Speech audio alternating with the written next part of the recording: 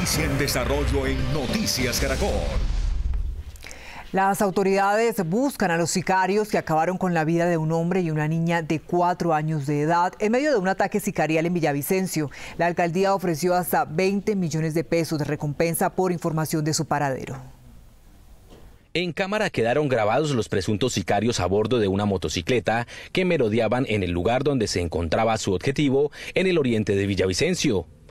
Uno de ellos se baja y entra disparando a la víctima, un joven de 26 años que luego del ataque sale huyendo mientras el sicario lo persigue y le dispara en repetidas ocasiones.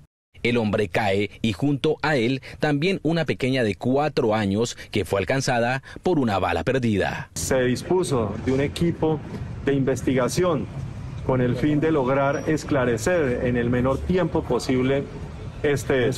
La pequeña Isabela estaba en la casa de su tío y había salido a hacer un mandado cuando cayó en medio de los disparos. Su abuelo aún no cree lo que le pasó a su nieta. La víctima salió corriendo y el sicario le disparó y la bala pasó y le pegó a la niña. En el momento el tío que estaba ahí la auxiliaron rápido y se la llevaron para el hospital, pero allá falleció. Los familiares de la pequeña de cuatro años piden justicia.